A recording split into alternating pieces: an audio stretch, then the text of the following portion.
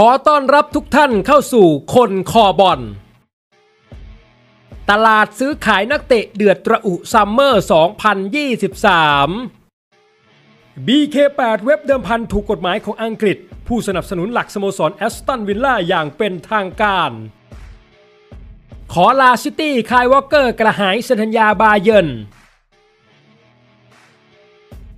สกายเยอรมันออกโรงเผยไคล์วอล์คเกอร์กองหลังของแมนเชสเตอร์ซิตี้แจ้งกับเป๊ปกวาร์ดิโอลาแล้วว่า ขออำลาทีมในช่วงซัมเมอร์นี้ เพื่อย้ายไปค้าแข่งในบุนเดสลีกาเยอรมัน หลังจากได้รับความสนใจจากบาเยร์นมิวนิกวอลเกอร์ตัวเป็นข่าวย้ายออกจากทีมเอติฮัดสเตเดียมในช่วงซัมเมอร์นี้ โดยเฉพาะอย่างยิ่งหลังจากที่โธมัสทูเคิลกุนซือของเสือใต้แสดงความต้องการให้ตัวเขาไปเสริมทัพ ต่อจากกรณีดังกล่าวสื่อเมืองเบียร์เผยว่า ดาวเตะวัย 33 ปีตัดสินใจแล้วว่า ต้องการย้ายไปร่วมทีมแชมป์บุนเดสลีกาเยอรมัน และแจ้งกับนายใหญ่ชาวสแปนิชเรียบร้อย อย่างไรก็ดีสกายเยอรมันเสริมว่าทั้งสองสโมสร ยังไม่ได้ตกลงเรื่องการซื้อขายนักเตะกัน แต่บาเยร์นพร้อมยื่นข้อเสนอกับแมนเชสเตอร์ซิตี้พิจารณา หลังจากนักเตะประกาศความต้องการออกมาเมื่อสัปดาห์ก่อน โดยมีรายงานว่าขุนพลทีมชาติอังกฤษ ตกลงด้วยว่าจะย้ายไปค้าแข่งในมิวนิก ด้วยการสัญญาถึงปี 2025 และมีออปชั่นเซ็นต่อเพิ่มได้อีก 1 ปี ปัจจุบันวอลเกอร์อยู่ระหว่างการทัวร์ญี่ปุ่นกับทีมทริปเปิลแชมป์แต่เชื่อว่าการย้ายทีมของเขาไม่น่าจะเป็นปัญหา เนื่องจากเรือใบสีฟ้าส่อเค้าเปิดทางให้ โดยพวกเขาจะหันไปดึงแบงฌาแมงปาวาร์ด แบ็คขวาของทีมเสือใต้มาแทนที่นิวคาสเซิลเฮเลสเตอร์ยอมตกลงขายฮาร์วีย์บาร์นส์แล้ว เดวิดออร์นสตีนเหยี่ยวข่าวคนดังคอนเฟิร์มเลสเตอร์ซิตี้ตกลงขายฮาร์วีย์บาร์นส์ให้กับนิวคาสเซิลยูไนเต็ดเรียบร้อย ด้วยค่าตัวสูงกว่า 1,400 ล้านบาท นิวคาสเซิลยูไนเต็ดทีมดังจากศึกพรีเมียร์ลีกอังกฤษ บรรลุข้อตกลงกับเลสเตอร์ซิตี้เป็นที่เรียบร้อยสำหรับการคว้าตัวฮาร์วีย์บาร์นส์ปีกจอมพลิ้วเลือดผู้ดี ตามการรายงานข่าวจากเดวิดออร์นสตีนผู้สื่อข่าวลูกหนังคนดังจาก The Athletic สาลิกาดงมีข่าวพยายามจะคว้าตัวบาร์นส์มานานแล้ว และล่าสุดออร์นสตีนก็คอนเฟิร์มนะครับ ว่าเลสเตอร์ยอมขายดาวเตะวัย 25 ปี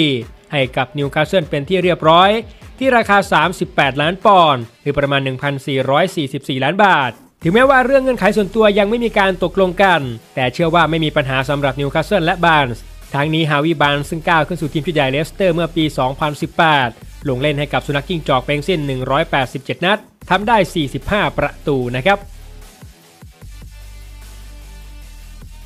ด่วนแมนซิตี้ตกลงขายริยาดมาเรส ให้อัลอาห์ลีเรียบร้อย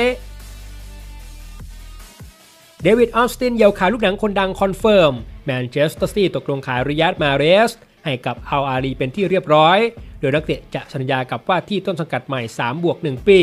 อัลอาห์ลีสโมสรยักษ์ใหญ่จากลีกสูงสุดซาอุดิอาระเบีย บรรลุข้อตกลงกับริยาดมาเรส ปีกทีมชาติแอลจีเรียของแมนเชสเตอร์ซิตี้เป็นที่เรียบร้อยด้วยค่าตัวรวมโบนัส 35 ล้านยูโรหรือประมาณ 1,330 ล้านบาท ตามการรายงานข่าวจากเดวิดออร์นสตีน ผู้สื่อข่าวคนดังแห่งดิแอธเลติกสำหรับดีลดังกล่าวแบ่งเป็นเงินการันตีจำนวน 30 ล้านยูโร หรือประมาณ 1,140 ล้านบาท บวกกับโบนัสตามเงื่อนไขต่างๆ อีก 5 ล้านยูโร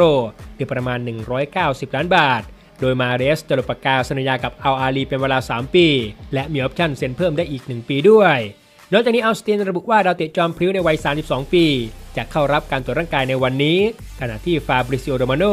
อีกหนึ่งผู้สื่อข่าวแวดวงตลาดซื้อขายนักเตะตัวท็อปก็รายงานไปในทิศทางเดียวกันกับออร์นสตีนทั้งนี้มาเรสลงเล่นให้กับแมนเชสเตอร์ซิตี้ทั้งสิ้น 236 เกม ทำไป 78 ประตู ตลอดระยะเวลา 5 ฤดูกาลที่ขาแข่งในถิ่นเอติฮัดสเตเดียม โดยประสบความสำเร็จอย่างมากด้วยการคว้าแชมป์พรีเมียร์ลีกอังกฤษถึง 4 สมัย FA Cup 2สมัย EFL Cup 3สมัย แล้วก็ล่าสุดคือยูฟ่าแชมเปี้ยนส์ลีก1สมัยนะครับ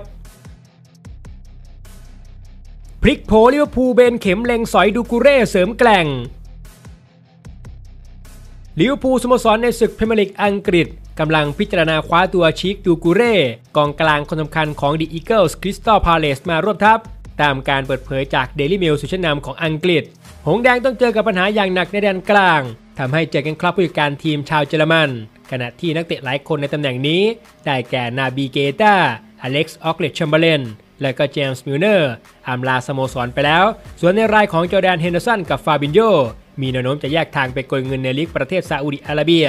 ด้วยเหตุนี้ทำให้คล็อปป์ต้องเสริมแผงมิดฟิลด์ใหม่ โดยทีมสามารถคว้าตัวอเล็กซิสแม็คอัลลิสเตอร์และก็โดมินิกโซบอสซ์ไลมาร่วมสังกัดได้แล้วขณะที่เดอะเรดส์ยังมีข่าวอยากได้โรเมโอลาเวียหรือว่าจะเป็นเคเฟรนตูรามมาเสริมแกร่ง แต่ยังไม่มีความคืบหน้าอะไรมากนัก ล่าสุดเดลิเมลรายงานว่าตอนนี้ลิเวอร์พูลเปลี่ยนเป้าใหม่แล้ว โดยกำลังพิจารณาดูกูเร่มิดฟิลด์ตัวเก่งในทีมเซลเฮิร์สต์พาร์คแม้ว่าพาเลสดูเหมือนจะพยายามทุ่มเงินเพื่อรั้งตัวดาวเตะทีมชาติมาลี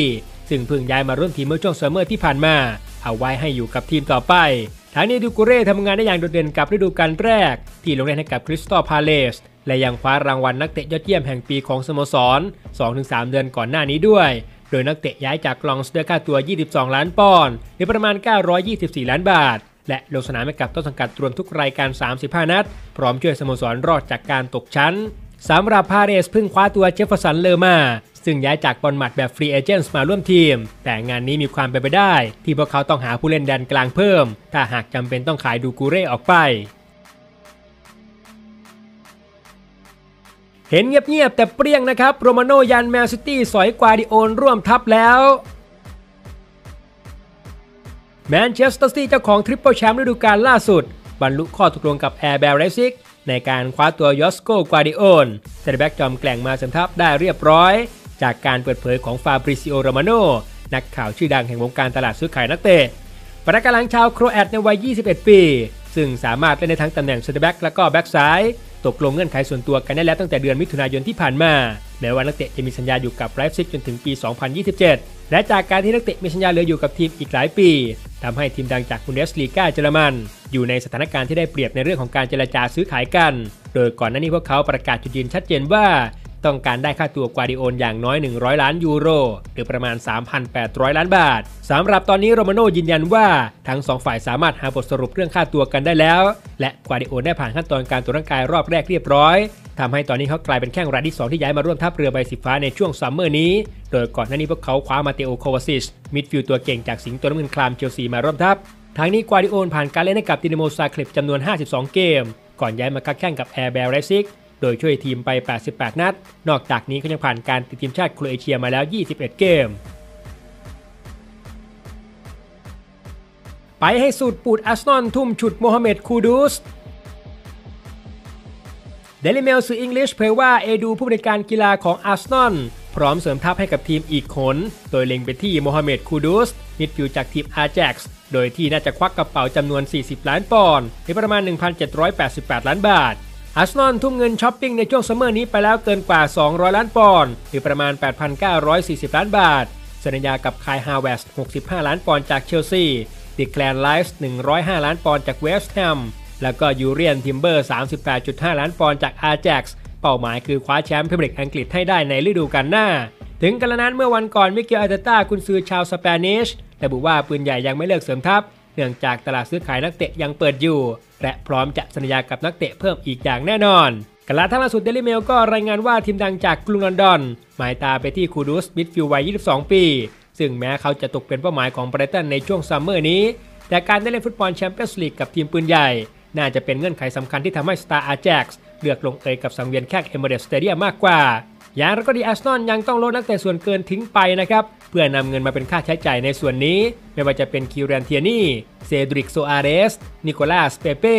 อัลเบิร์ตแซมบี้โลคองกานูโนตาวาเรส แล้วก็ร็อบโฮลดิงขณะเดียวกันโทมัสปาร์เตย์เป็นอีกรายที่ส่อแววย้ายทีมในช่วงซัมเมอร์นี้ แต่อาร์เซนอลจะยอมขายเขาก็ต่อเมื่อได้ค่าตัวก้อนโตเท่านั้น ถึงขณะนี้กองกลางทีมชาติกานาลงเล่นให้กับอาแจ็กซ์ไปแล้ว 84 นัด และสอยตาข่ายได้ 23 ประตูกับอีก 11 แอสซิสต์ ฝากคอบอลทุกท่านกด subscribe กดไลค์และกดแชร์เพื่อเป็นกำลังใจด้วยนะครับ BK8 เว็บเดิมพันถูกกฎหมายของอังกฤษ ผู้สนับสนุนหลักสโมสรแอสตันวิลล่าอย่างเป็นทางการ